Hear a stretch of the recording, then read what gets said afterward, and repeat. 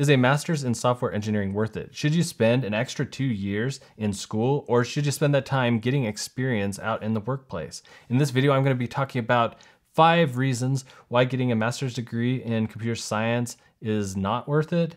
And then I'm going to also talk about five reasons why it could be very beneficial. The first reason why getting a master's degree in computer science may not be worth it is that that is two more years that you are out of the workplace.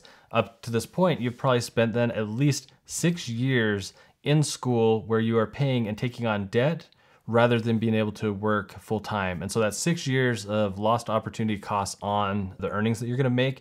And so you have to calculate is the any pay increase that you get by having a master's degree how long is that going to take to make up for six years of lost earnings? And in some situations that it might make financial sense, but in others, you may be better off getting the two years of experience and, and be making money during those two years than actually getting a master's degree.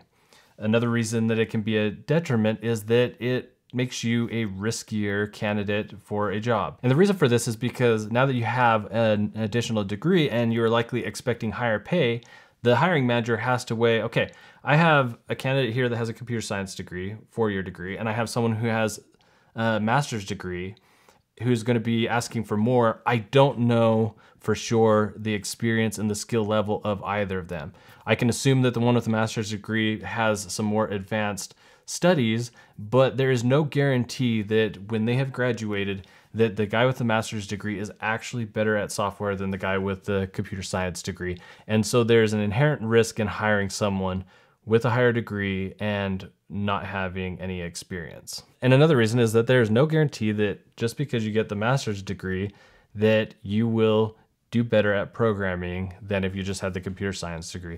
A lot of times in uh, master's programs, you're doing a lot more focus on research and doing things that are going to be preparing you for going into research or academia, not necessarily practical engineering and coding skills. So there's a place for that, but that experience may not be really, really actionable in a day to day programming job for most positions. And another con is that there's going to be a lot of overlap between what you're learning in a computer science degree and in your master's degree. Now, this can be good because it can reinforce a lot of topics, but if those are topics that you aren't going to be actually using in your day to day, then now you've just wasted twice as much time learning something that isn't going to be of use to you.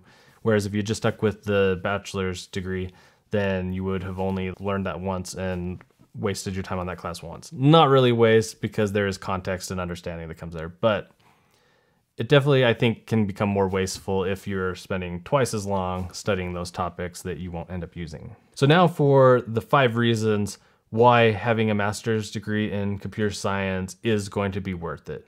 There are some jobs where it will be really, really helpful. For example, if you're looking at uh, some of the government jobs, having a master's degree will really set you apart and help you to get those positions because there's a lot of bureaucracy in the hiring process and a lot of requirements and different ways that they weigh candidates and stuff. And because of that, just having the degree will make a huge difference on your application. Also, if you're looking at getting an H-1B, having a master's degree can be really helpful because there are funds that are set aside specifically for people who are looking for an H-1B who have certain higher level educational skills. And so there's going to be doors that will be open to them that will not necessarily be open to people who just have a bachelor's degree.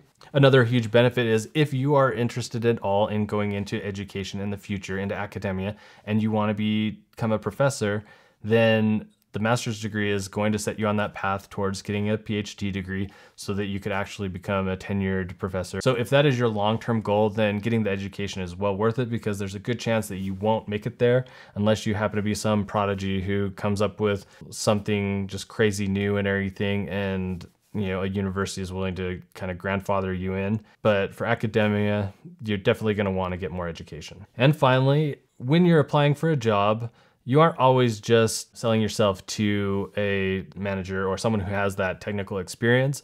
A lot of times you're going to be going through different gatekeepers uh, in HR who really don't know much about software other than what they've copied and pasted from other job positions and and they just have kind of real high level understanding. And so when you have a master's degree, A lot of them uh, may have come from other areas like business and stuff, and so they can at least appreciate the value of a master's degree in their domain and therefore you know place some weight on it as they're filtering out candidates for a given position.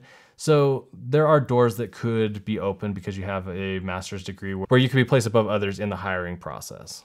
So now that you know some of the pros and cons of getting a master's in software engineering, you should watch this video to find out how you can grow your career fast as a software engineer. And I'll see you in the next one. Late.